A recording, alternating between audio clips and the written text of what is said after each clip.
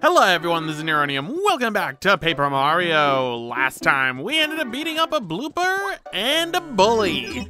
And in this episode, we are gonna do a couple more things here and there throughout the Toad Town area. And then, I believe the next episode, we will be going and dealing with, um, the next chapter, which, if you remember, we're still missing one magical seed, and that magical seed is in Mount Rugged. It's easy to get to. You can get it with Parakarry early on. In fact, the first time you go there. So just keep that in mind. Me, I'm just looking for something because I'm like, where the heck is the thing I'm looking for? And I can't seem to find it, so I'm like, okay, fine. We'll do the next best thing. Which it is actually in not this room, but the room after this. There is a super block that I am missing. If I ride, if I get on these and go to the next one, I don't think, I think that they're supposed to be moving, but they're not. But we also have a super block right here. Oh, darn Buzzy Beetle. Alright, so how will we handle this most precarious of predicaments? Simple. Quake Hammer! Big Smash! Okay, Mario can't move. Let's change members to what? Electro Dash and Zap Zappity Zap Zap Goomba.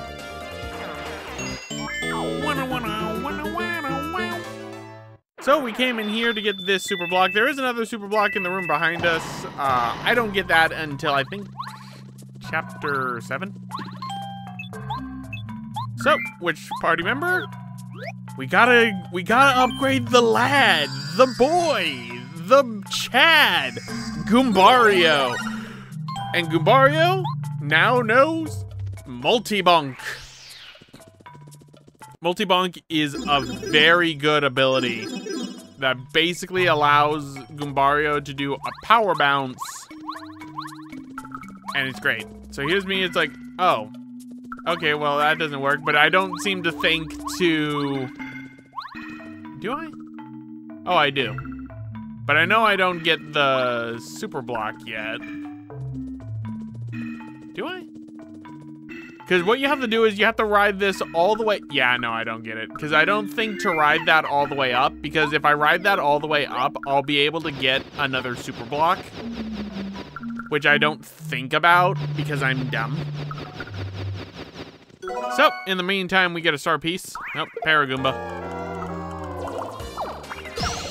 Zap zappity zap zap. Right. Paragaloomba.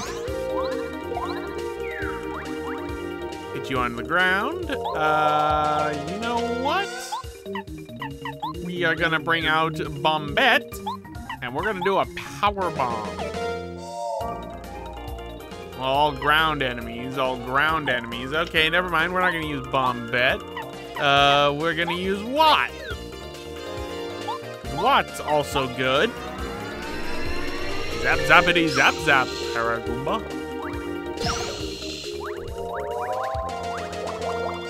Zap. Zap.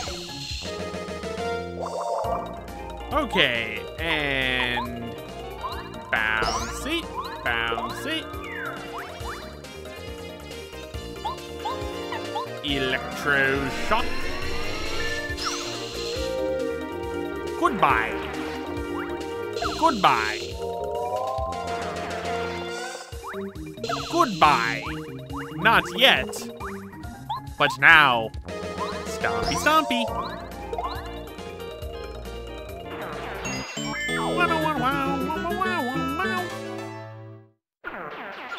So, there we go.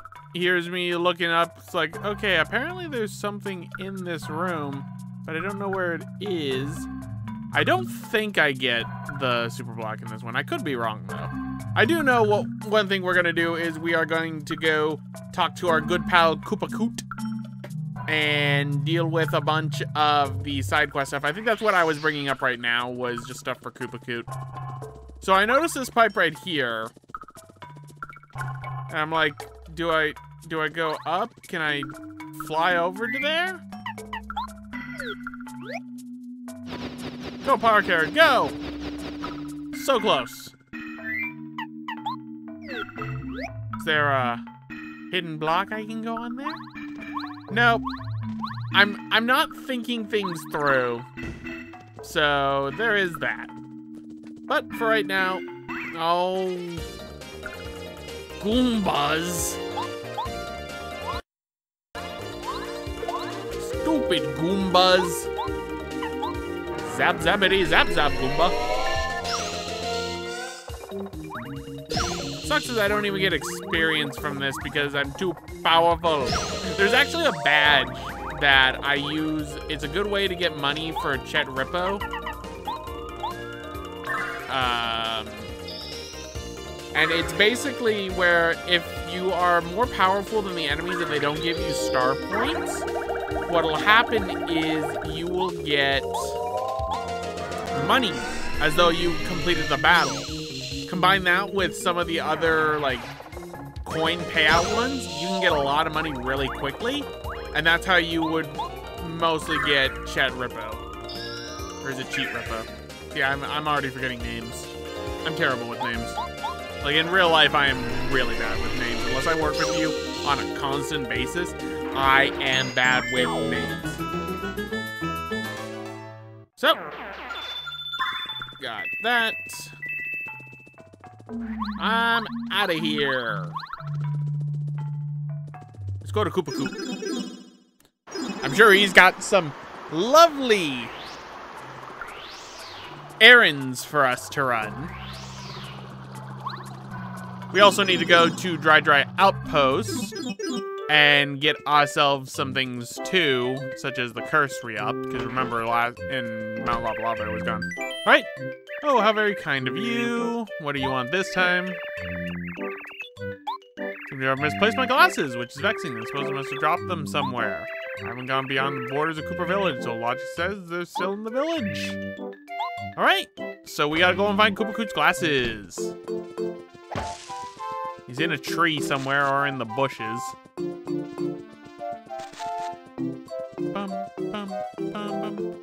Ah, Kolorado. I see he has made it home. Koopa Leaf. We're gonna need that, actually.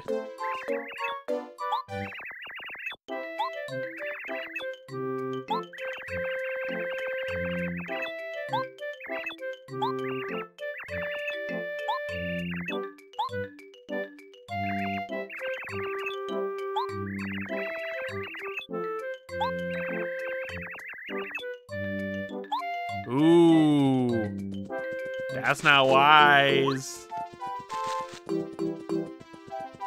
Okay. Do, do, do, do, do, do, do. Okay, Koopa. Gotta have some glasses around here. It's a Koopa leaf.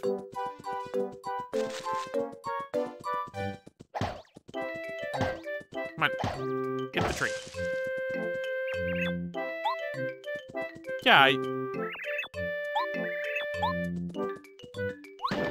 Nothing. Nothing. Aha! Koopa Koot's glasses!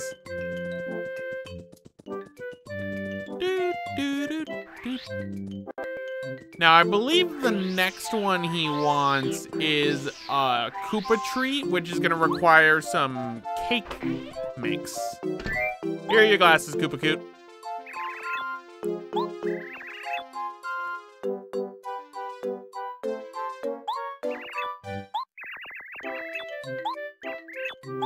Got a coin.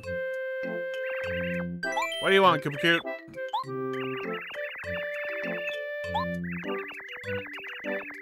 You need a tart. Pick me up. A fresh lime.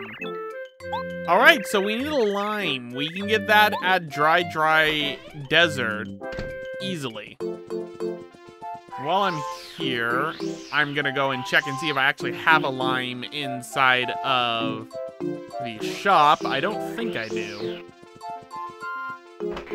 Would be very convenient if I did. I would like to claim. Got the egg, the whack-a-bum, cake, cake, strange leaf, coke. I've got a lovely bunch of coconuts. Nope. All right. So, I needed to go to Dry Dry Outpost anyway to re-up the curse, and then I also need to go and get the seed from the Bulbulb inside of Mount Rugged, so it, it works out that I need to go that direction anyway. I'm just glad I don't have to get the one seed in the Forever Forest, because that takes... I got lucky when I found it, because that's a pain to get to that area, because Forever Forest is confusing. Uh, this is Goombario's house. Go back down. I always do that. Soon we will be using these pipes a lot to get uh, Chuck Quizmo. Because you can manipulate how he spawns once you get to Chapter 7. Right? Chuck Quizmo is not here. Here's me checking. I'm like, wait, do I go to the other way and check for Quizmo? So, let's go to the desert. There is actually one more badge in this desert that we can get. You have to ride one of the tornadoes in order to be able to get it. Okay, so we have a lemon.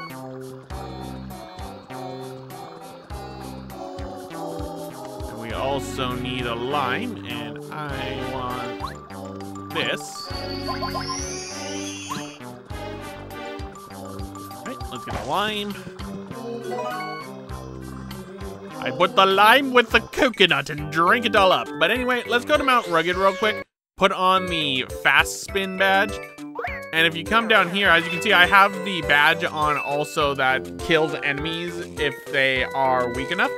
So the Bulbulb is right over there. This is the first area where you'll meet Clefts.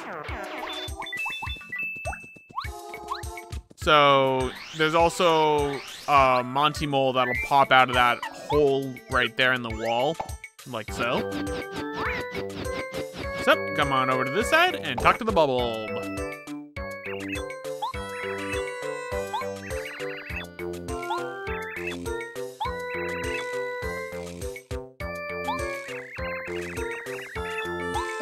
Magical seed. So, the magical seed, that is the last one we needed. So, let's go right over here. Let's go and talk to Koopa Koot. So I've already re-upped the curse, so I'm forgetting which one it is. I'm like, it, it's this one, right? Yes, it is. All right, Koopa Koot. I got your line. Have a line.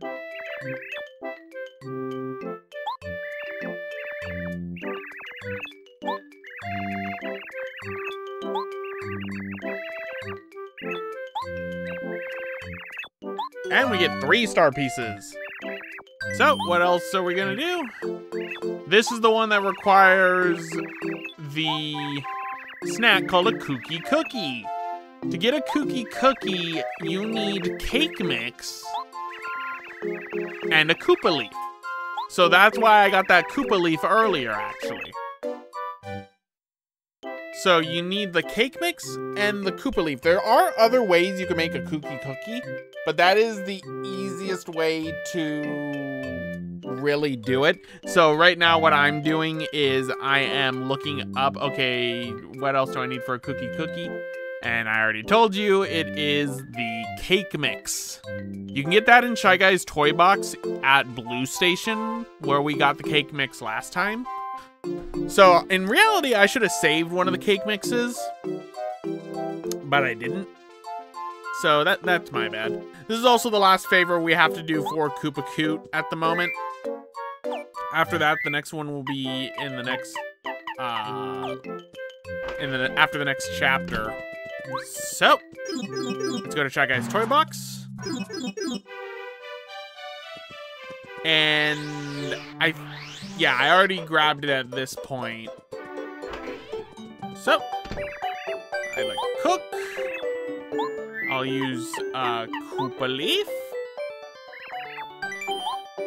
And some cake mix. I think you can use syrup too, uh, in lieu of the... In lieu of certain things. And we got a Kooky Cookie. It makes you transparent. Which means enemies won't attack you.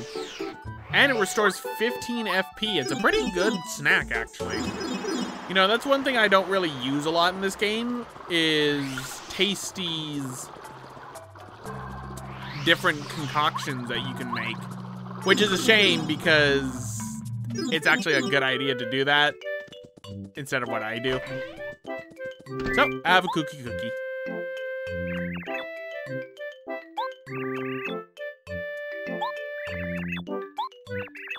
And we got one coin. So, no favors. Alright, which means we got really two things left to do.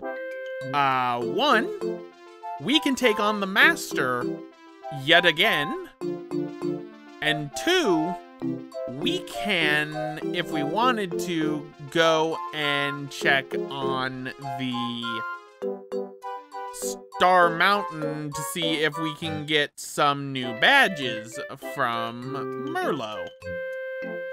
But I think we're gonna hold off until we get a few more star pieces, because there's one star piece in particular that I am trying to get. Like, one badge I'm trying to get from him. So, uh, Parakarry. We also have the letter to deliver from the Yoshi Kid to the one uh, island.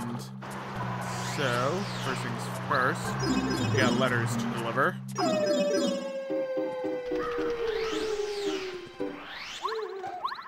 Could have sworn I had already delivered this letter. I think this is the Igor letter. Yes. So I already delivered that letter. But while I'm here, let's go downstairs. Fun fact, there is, under those two stacks of boxes, a star piece. That is the last star piece I will be getting in the game, because I do not realize that the star piece is there. It took me hours to realize that it was there. And it was terrible.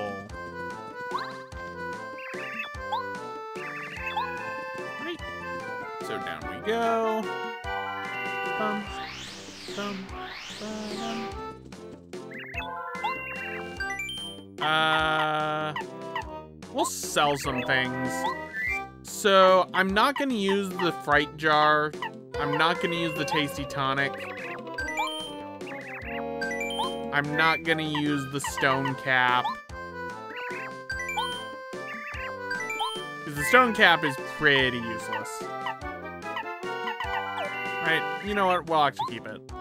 But Igor the Boo Shop, his name is Parakarry, and he delivers letters, so hang on for a moment. Have a letter. Have a letter.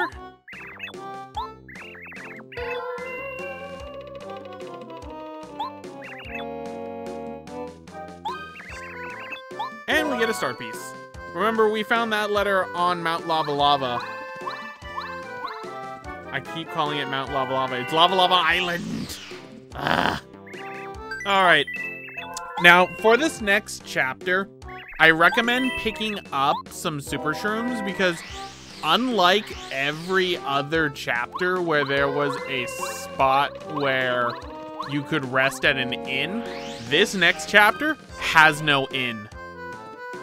It's pretty rough. It, for many, they consider it one of the harder chapters because there's not a lot of um, healing to be found in this chapter, in chapter six. So keep that in mind. So here's me going like, okay, what other one do I have? Okay, I got the Toad Kid in Toad Town for the next one.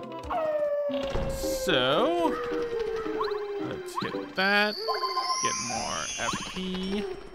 Then we've also got to go and beat up the Master. I just want to beat up the Master in this episode. Nope. Go backwards. Nope. Speedy spin. You are messing with me. I did not want to fall down there. All right.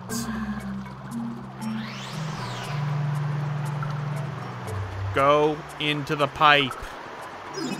I, I can't move. I am I'm paralyzed with fear. I'm fighting the master at his fourth and second strongest form. Uh, speaking of the master, we will be fighting the master actually. I think this is actually when I go to fight the master. So for the master, there is the ultimate one, which is stronger than the final boss of the game. I do not fight him before I fight the final boss. I'm gonna fight the master at his full power right after the final boss during a um like bonus part. Not because I forgot or anything. Okay, it's entirely because I forgot, but also because for the master in his strongest form, again, he's more powerful than the final boss, and it'd be kind of sad to beat something more powerful than the final boss before the final boss. Hello, master. I, I, I came to try.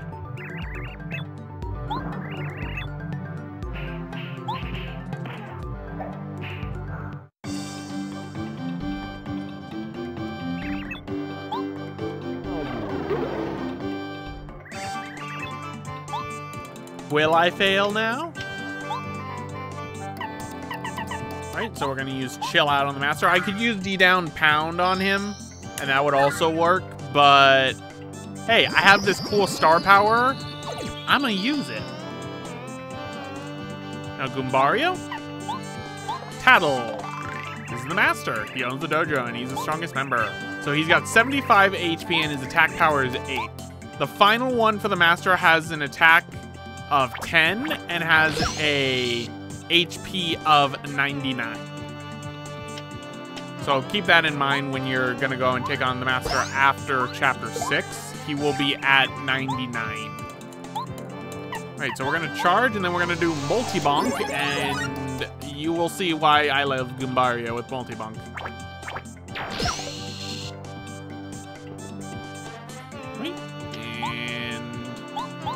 Hammer. Now Goombario multi-bonk. Bingy, bingy, bingy, bingy. So there you go. It incrementally goes down, but you can do a lot of damage with multi-bonk. It's very good. I love multi-bonk.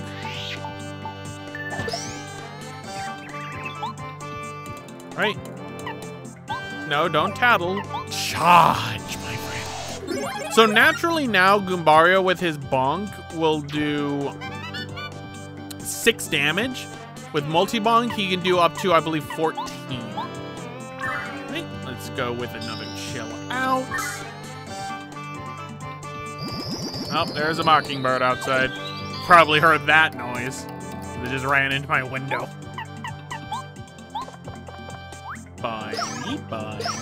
Bindy. Alright, so that's 12.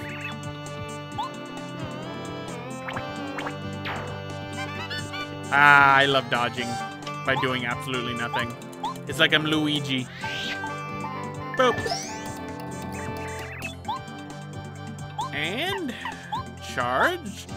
This should take out the master in these turns.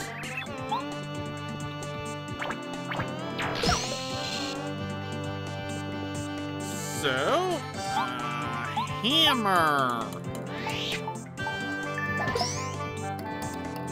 So Mario should be able to take him out next turn. So boingy, boingy.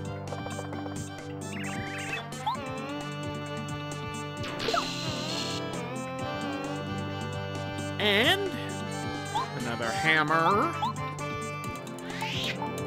Boop. Goombario, this is your destiny. Take out the master.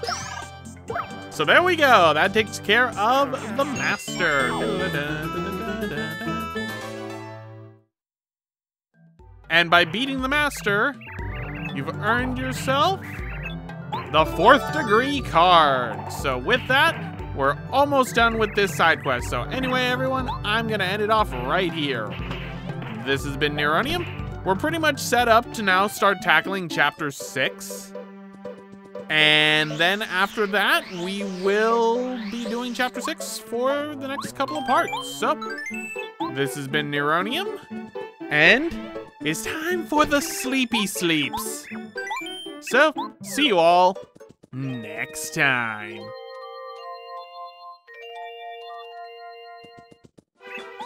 Hey, thanks for watching. If you want to check out another type of Mario RPG, check out the top link for a playthrough of Mario & Luigi Superstar Saga plus Bowser's Minions. And if you want to see a different type of Mario game altogether, check out the bottom link for a playthrough of Luigi's Mansion Dark Moon.